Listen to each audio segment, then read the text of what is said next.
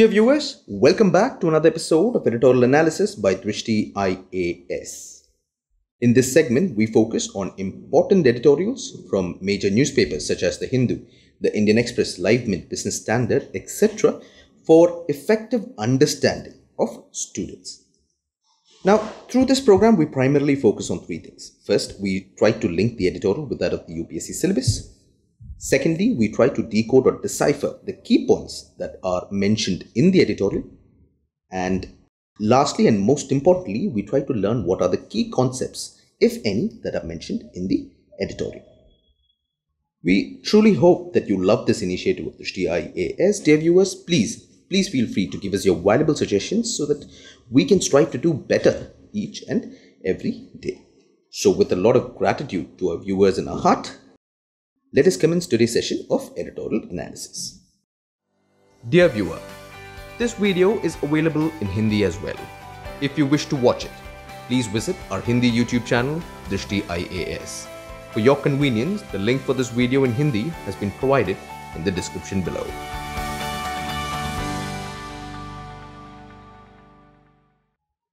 For this episode, we have opted uh, for the editorial titled A Grim Sovereign Tangle uh, from the Hindu, dated September 3rd, 2020. The editorial technically talks about how uh, the GST in future should not fall victim to the trust deficit because of the compensation standoff.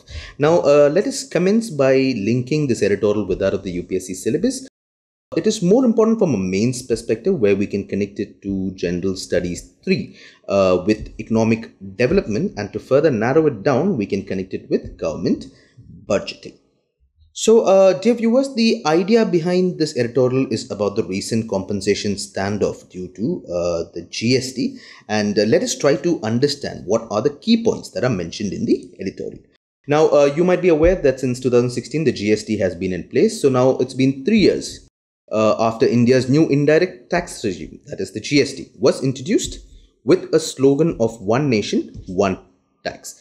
Now, in spite of this introduction, the GST regime is still facing an existential crisis. Now, uh, see, first and foremost, let's make it very clear. The GST re regime has uh, many issues. Uh, too many rates, complex compliance requirements, and multiple changes in rules and tax slabs. Now, despite these issues, the center and states, you know, went ahead jointly to see that the goods and services tax is being implemented all over India.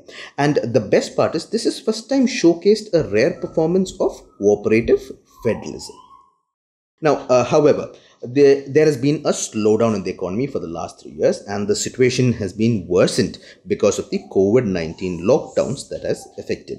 But this has also had an impending effect on the gains. And when I talk about gains, I'm talking about the cooperative federalism aspect as well that was made over the years between the center and states, and rather it has led to more fiscal tensions. All right.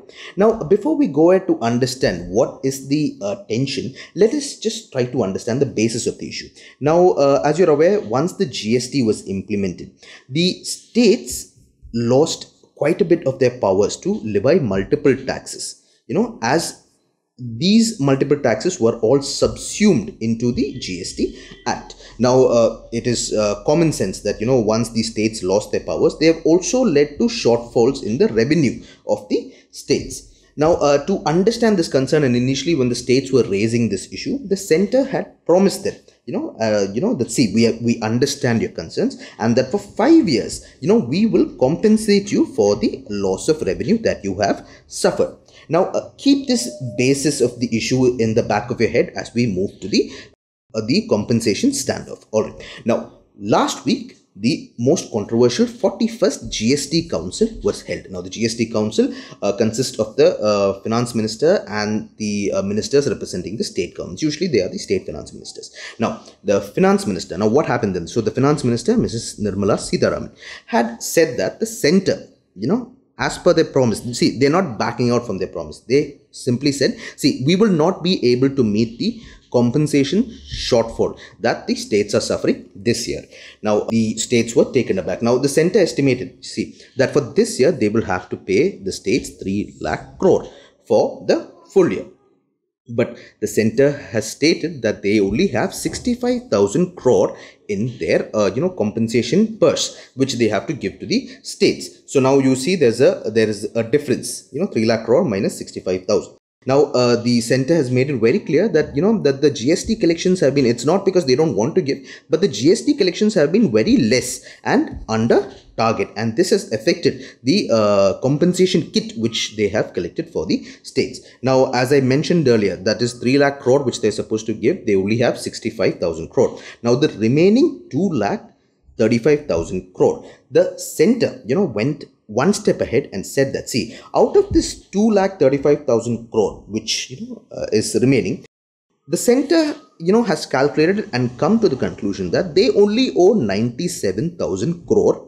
to the states as compensation for the revenue shortfall they have suffered due to implementation of GST. See, now understand once again, out of the 2,35,000 crore, the center has stated that only 97,000 crore is owed by the center to the state, you know, as compensation for the revenue shortfall they have suffered because of GST.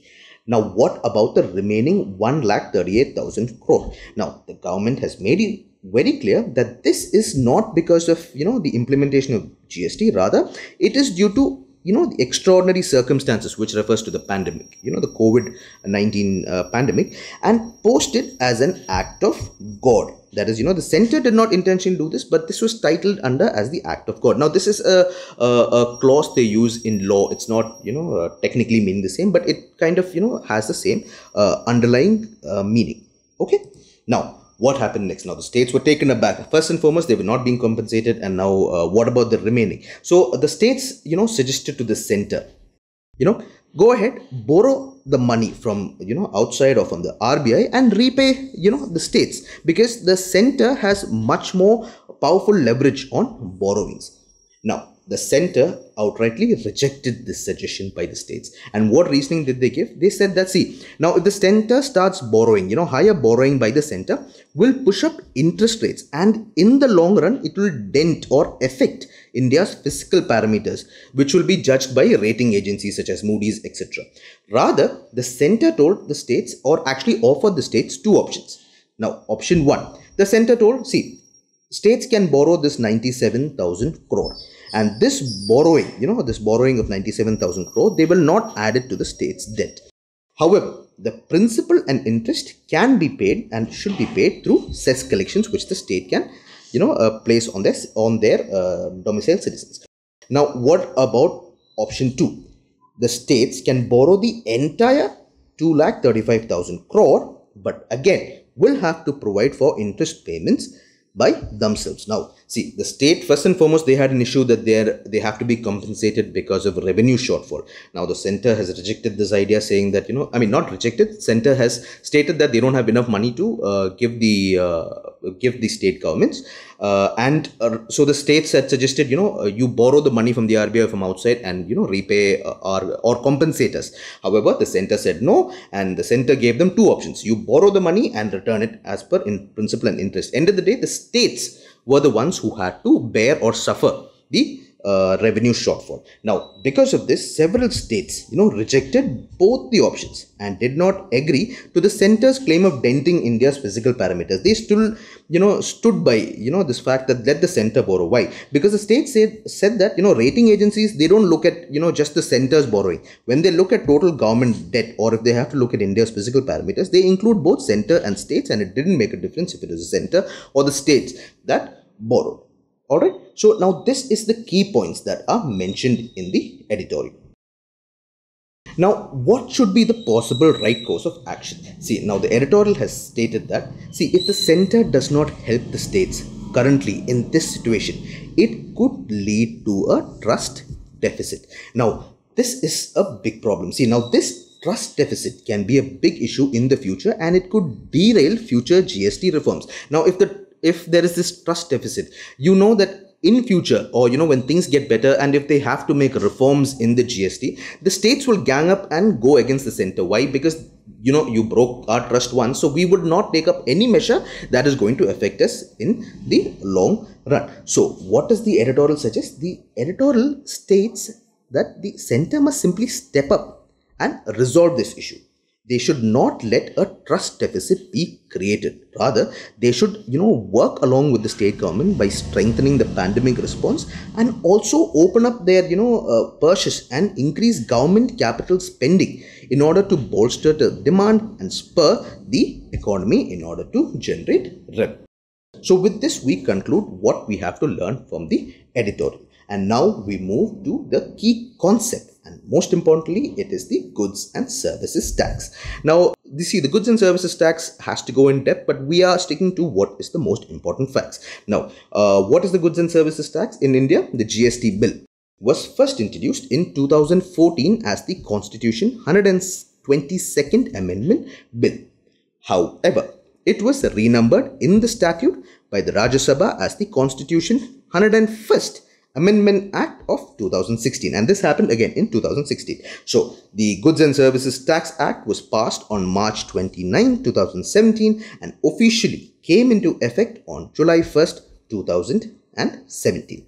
So now what is the Goods and Services Tax? It is simply a tax that is levied on the supply of goods and services wherein the GST regime subsumed a lot of the state levied taxes such as the VAT, sales tax, octroi, entry tax together and also subsumed central centrally levied taxes such as the central excise and service tax and made one tax for one nation.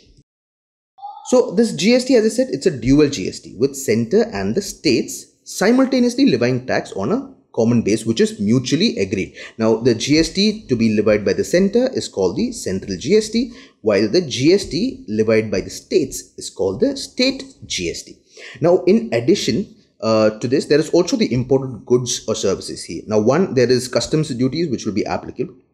And also there will be an integrated goods and services tax. And this is done because, you know, imported goods and services is treated as interstate supplies. Now, uh, in this GST, the consumer pays an overall rate under one of the major tax slabs that is of 5%, uh, 12%, 18%, 28% and of course there is also a 0% where you know core goods will not attract any uh, tax and out of this tax that the consumer pays half accrues to the center or half goes to the center and the remaining half to the state where the consumption happens. Now in addition to this tax there is also a compensation cess ranging from 1 to 200% which is levied on sin and luxury goods like cigarettes, uh, pan masala, certain categories of automobiles, which means the top end, uh, you know, vehicles, over and above the topmost slab of 28%. Now, this idea of compensation cess means to compensate the states that have uh, suffered from revenue shortfall. Okay. And finally, there is also a GST Council that we need to look at. Now, Article 279A of the Act states that a GST Council is to be formed by who? The President to administer and govern the GST. The GST Council will have a chairman and it is by default the Union Finance Minister who will be the chairman and the members will be ministers nominated by the state governments. And usually the ministers are finance ministers only or the state finance ministers. Now the council is devised in such a way that the center will have one third voting power and the states have two third voting power and the decisions or the final call is taken by three fourth majority so with this, we are concluding the key concepts also that we have to learn from the editorial. And now let us look at this from the uh, UPSC prelims and mains perspective. Now uh, from prelims perspective, you know, GST is a subject that questions can come and it has also come. Uh, there is related to tax slabs. There is also related to the Amendment Act.